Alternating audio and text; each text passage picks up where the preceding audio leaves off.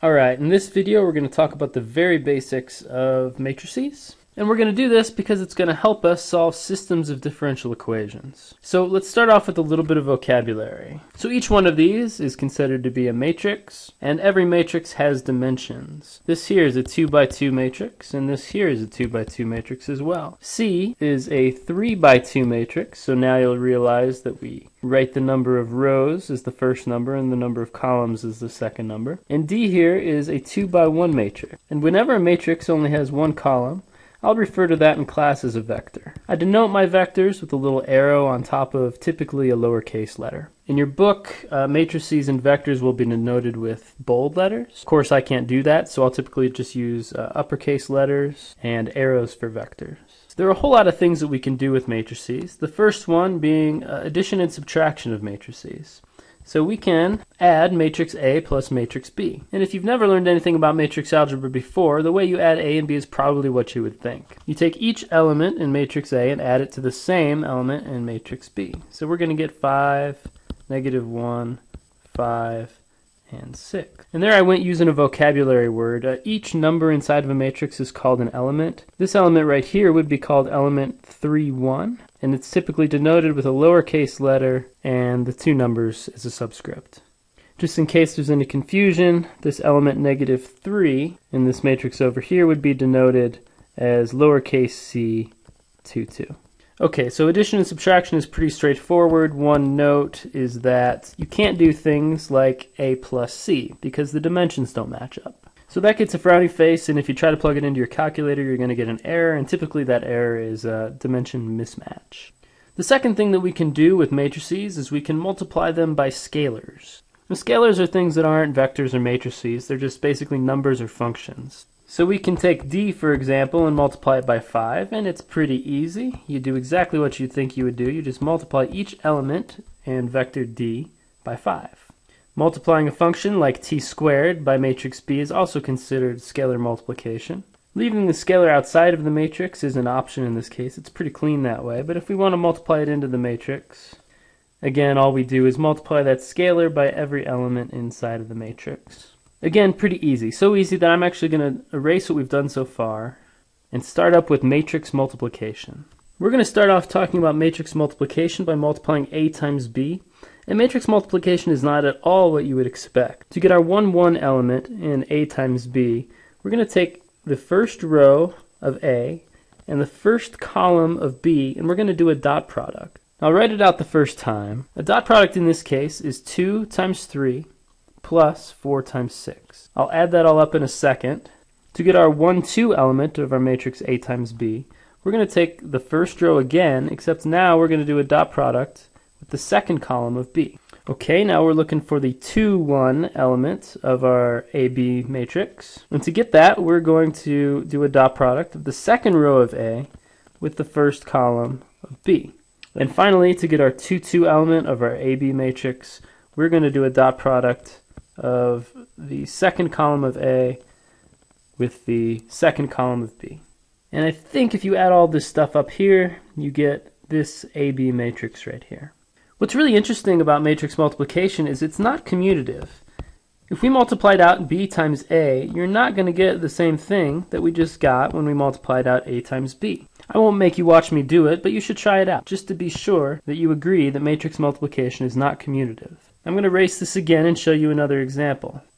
Now if we try to multiply out b times c, we'll go about this the same way that we did before. We'll try to take a dot product of the first row of matrix b the first column of matrix C, and you'll notice that this does not work. Again, the dimensions of these two matrices don't match up for matrix multiplication, but we can do C times B. More evidence that matrix multiplication is not commutative. Let's go through it pretty quickly, but it's the same process. We're going to take row 1 and column 1 of C and B respectively, and take a dot product, and you're going to get 3. For the next element, we're going to take row 1 and column 2, and that dot product is going to give us negative 5.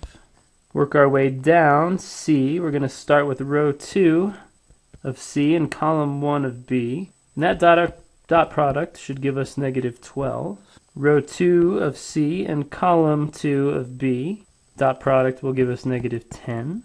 Row 3 of C and column 1 of B is going to give us a dot product of 30. And I'm all out of color. The last row in C and the second column in B, dot product it out, you're going to actually get 0.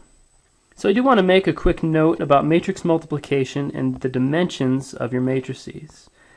In this last example, we took a 3 by 2 matrix and multiplied it by a 2 by 2 matrix.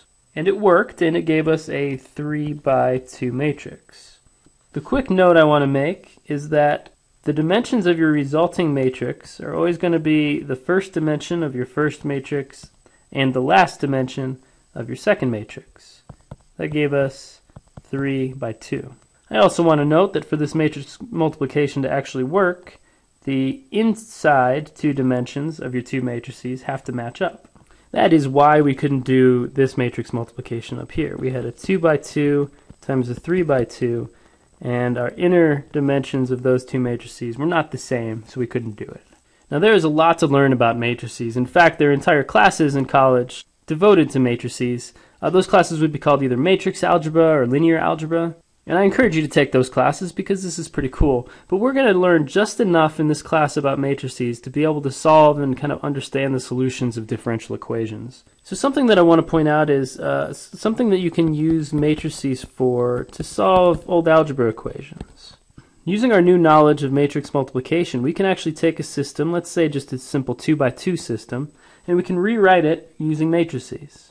There it is. I took these two equations here and I wrote them out in matrix form right here.